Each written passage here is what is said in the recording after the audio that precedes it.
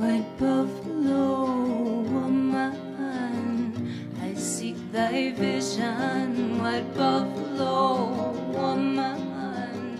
I seek thy grace, white buffalo woman. I seek thy wisdom, white buffalo woman. I seek thy peace, fill me with thy vision, fill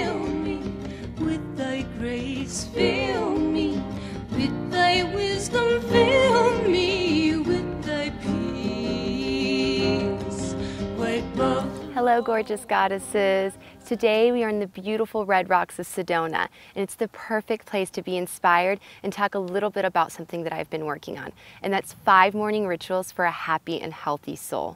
Our mornings are so vital and so important to us that they set the tone for the rest of the day before we go out there and conquer the world.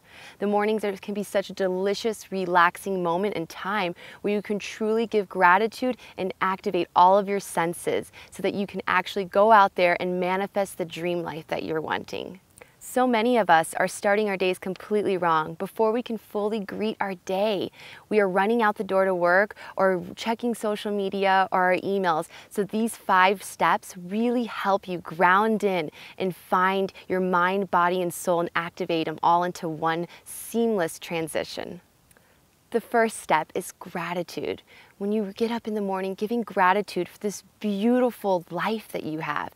You have an, a day to create, go out there and accomplish all of your dreams and goals and manifestations that you truly have.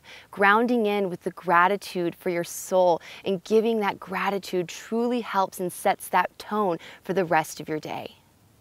Second, one of my favorite things to do is activate activating my mind with a morning meditation to truly clear out any blockages or anything that I may have running in my mind. Activating my mind to really center myself and my thoughts helps me go out there, accomplish my goals with a clear and open mind and an open heart as well. Third would be flow. And it's so vital and important to us in the morning to get blood pumping through our muscles and then through our entire bodies and to activate those cells. Doing yoga is an excellent way to flow and get the energy flowing completely through your body. Next would be nourish, nourishing your body from the inside out adding all those glowing superfoods to your body to activate those cells. One of my favorite ways is to drink a cup of warm lemon water with a splash of apple cider vinegar. That way you're literally giving your insides a bath. When we sleep, we're basically gone through a mini detox. So introducing these powerful superfoods like juices and fruits is an excellent way to activate and to also nourish all of those cells inside of our body. And last, to round up everything before we step out that door and conquer that dream life that we want, is intention.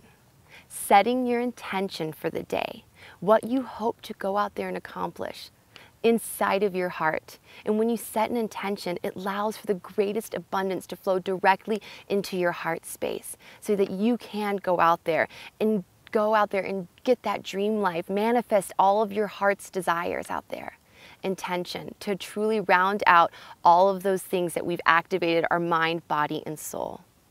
So, to recap, these are the five morning rituals gratitude, activate, flow, nourish, and intention.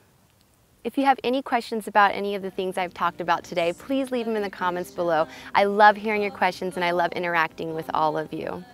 Thank you so much for joining me here today in this beautiful space of Sedona. It's a gorgeous day. Go out there, get your dream life, manifest it. You can do it. You're gorgeous, you're beautiful. Thank you for joining me here today. Have a beautiful and blessed journey.